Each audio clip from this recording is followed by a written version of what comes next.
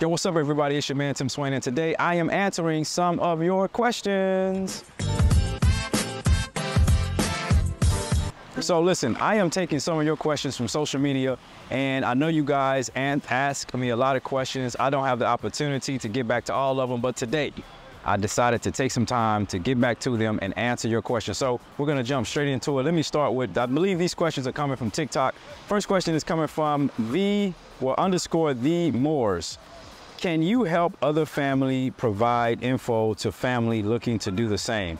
I believe you're referring to, can I help other families relocate to Ghana? Yes, I can. You can go straight to my website. I offer consultation. I offer, also wrote this amazing book that details the steps if you're visiting Ghana for the first time or if you're looking to move here. So yes, information is always on the website and on this video. Second question comes from EJ Wall. What's your advice or suggestion when taking this leap? Three simple things. Number one, Write down why you want to take this leap. I assume moving to Ghana or moving out of the country. Number two, create a game plan. And then number three, connect with somebody that has already done it so you can learn from them. Next question is from Kimberly Sanders 412. Kimberly says, but let me ask, are you discriminated due to being an African American? Is the is the crab in the bucket syndrome worse there? We have uh, we have been our own worst enemy. So I think you asked, yes, I get your question. The answer is no. I tell people this all the time. In Ghana, will you fit in, quote unquote, as an African American? No, but you will always be accepted. And the difference is you're coming from a different culture, different background. You are a foreigner in a different land, but that's not gonna stop you from accessing any opportunities that exist, at least in Ghana. So absolutely not that crab in the bucket mentality. Sometimes I think it's a myth. Um, I do know people are people everywhere you go, all right? Next question, Mimi. Mimi asked, the, the money, is it digital? Do you need a chip in hand? Hey, what is this? I saw many Africans in line for their eyes to be scanned. I have no idea what that means. So let me go to the next question. All right, so I'm going right to the next question. I am Knife Edge ask, can you please make a video about work and jobs and how to make money in Ghana?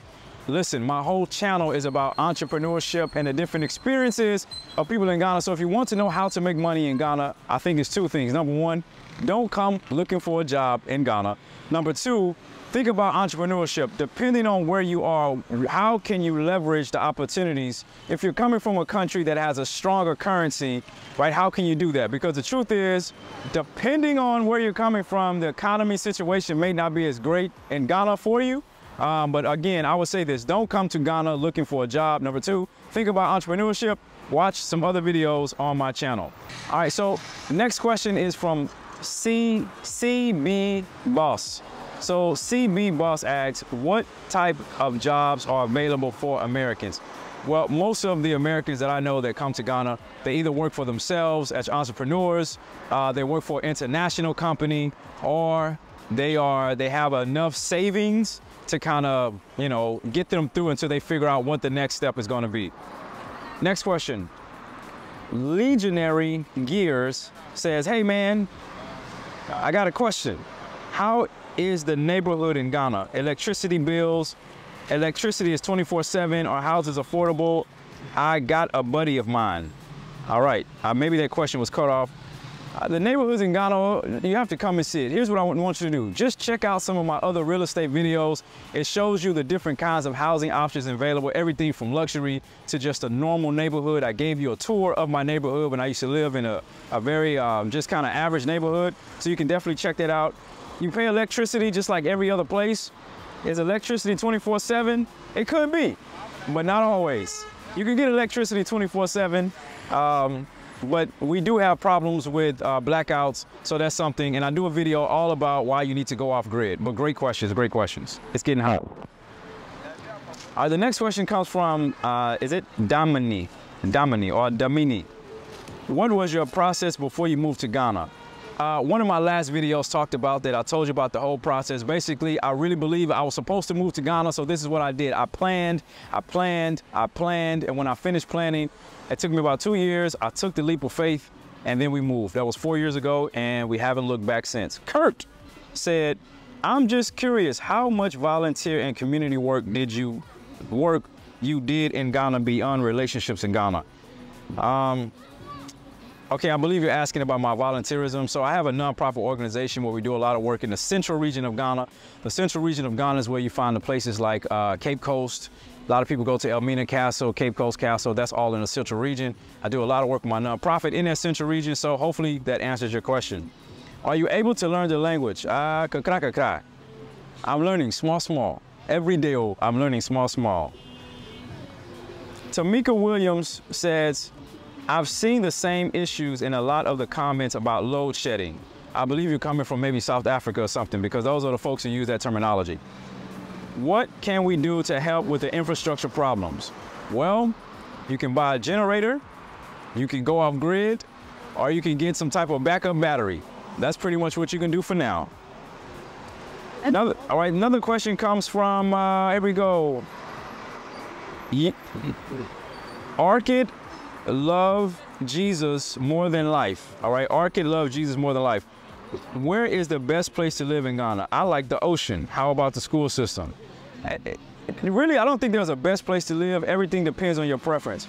I know people that live in cantonments uh, or like um, airport, which is kind of like the, I've heard someone describe it as like the Hollywood of, of Ghana.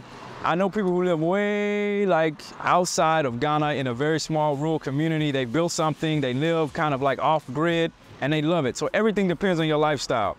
Um, how about the school system? The schools, it depends on what level you're talking about. We have great uh, schools. Most of them are gonna be, I ain't gonna say most, but a lot of them are private when it comes to like kids from like young age all the way up to senior high school.